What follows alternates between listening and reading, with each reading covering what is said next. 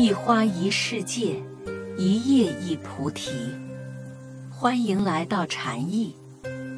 今天和大家分享的是，你有没有发现，同样是看到他人的付出，有的人喜欢说一句辛苦了，有的人却对此无动于衷；同样是收获他人的好意，有的人愿意说一句谢谢你，有的人却认为理所应当。面对棘手的难题，有的人能够安慰他人。处理纠纷，有的人只会抱怨，一味推脱。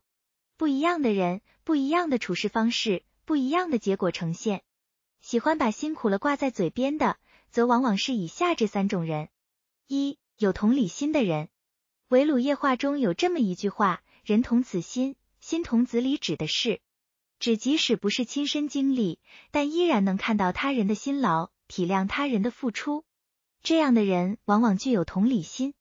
朋友小李第一次独自带娃时，直言自己快累死了。当他给出差的媳妇儿打电话诉苦时，对方来了句：“你也知道累呀，这就是我平常每天的工作。”刚有孩子时，双方父母都不在身边，妻子就承担起了带孩子的任务，一天下来忙到浑身散架，却被小李吐槽能比上班还累。我很羡慕你呢。等到自己带娃，才知道妻子平时有多累。后来再看到妻子带娃，他要么主动帮忙，要么宽慰妻子辛苦老婆了。相比于视若无睹，一句辛苦了是对妻子付出的看见和重视。妻子感受到爱和尊重，也会给丈夫更多的宽容和体谅。设身处地的体谅别人，不仅是一种温柔，也是一种教养。侦探小说家阿加莎·克里斯蒂曾讲过一个故事，他在中东旅行的途中。和考古学家马斯克相约同游沙漠。一次，因为车在一个地方停留了太久，他们被陷入了沙坑里，动弹不了。马斯克和司机想尽了各种方式把车子拖出沙坑，但沙漠的高温却令人焦躁无比。马斯克和司机不免都急得汗流浃背。自知帮不上什么忙的阿加莎，则拿着水和毛巾，安静的站在车子旁，时不时给忙碌的二人递上水。擦擦汗，说一句：“这么热的天，可真是辛苦二位了。”这让马斯克和司机焦急的心也渐渐安静下来，合力将车子驶出了塌陷的沙坑。后来，马斯克回忆说，在那几个小时里，阿加莎完全没抱怨，既没有说什么都是你不好，也没有说什么我们不该停在这儿。而他展现出的耐心和理解，也让我原本自责的心有所宽慰。看到他人的付出，有些人选择置若罔闻，有些人选择抱怨连天，全然不顾那些正在努力的人是什么样的心情。而有同理心的人却能够将心比心，一句辛苦了，既对别人的付出表示了肯定，也把话说到了他人的心坎上。心理学上有个南风效应，就告诉我们，冷漠的态度只能把人越推越远，舒服的言行才能把心逐渐拉近。成年人的世界。做事不争对错，说话让人舒服，把他人的感受放在心上，把自己的善意放在嘴上，才能让一段关系走得长远。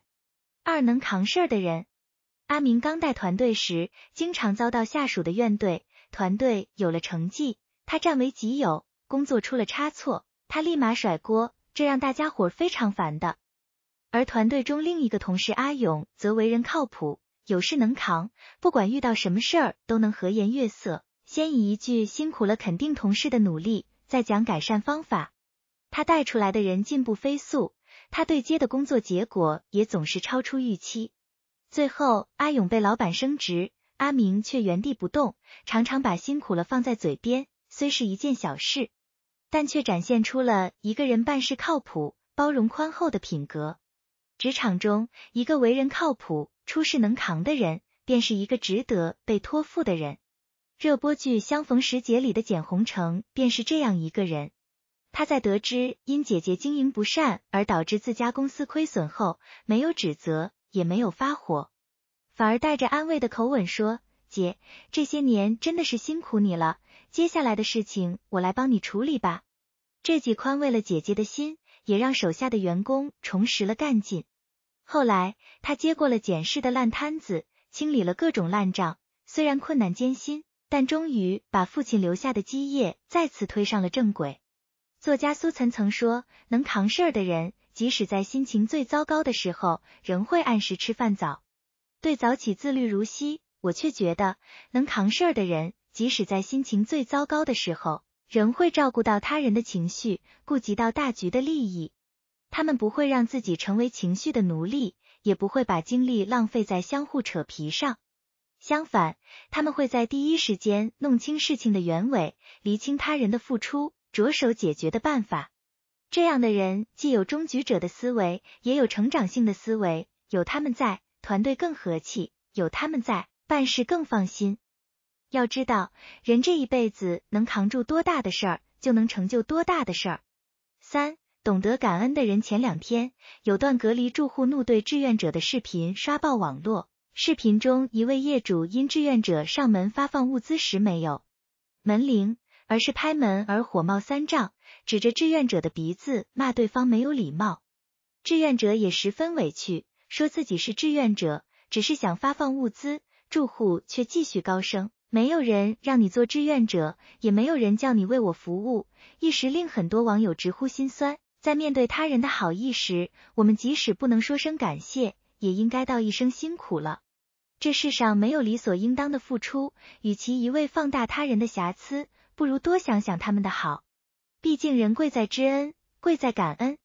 同样是隔离期间，志愿者们忙进忙出，为小区居民送菜、给楼道消毒，还要在小区门口站岗轮值，这让一位老奶奶十分感动。就每天起来后，站在窗户根跟大家伙喊话：“在外面站岗，你们辛苦了。”这让志愿者们脸上多了些笑容，还隔空和奶奶合影留念。一句简单的“辛苦了”，既是发自心底的感激，也是心与心之间真诚的靠近。生活中懂感恩的人，运气总不会太差。他们不仅会为自己积攒好运，还能吸引更多的愿意帮助他们的人。因为人性如此，谁都愿意帮助一个知恩图报的人，而不是靠近一个忘恩负义的人。人活着，懂感恩是一种高贵的品行，更是一种难得的修养。因为他们知道，世间一切乃众缘和合，众力所成，非独一人所能。是故当怀感恩之心。凡是感念别人一份付出，别人也会心里舒。不，他遇事牢记别人一份功劳，别人也会将你抬得更高。懂感恩的人，无论在哪里，都会吸引贵人，帮助他们过上更好的人生。丰子恺曾说：“你若爱生活，哪里都可爱；你若恨生活，哪里都可恨；你若感恩，处处可感恩；你若成长，事事可成长。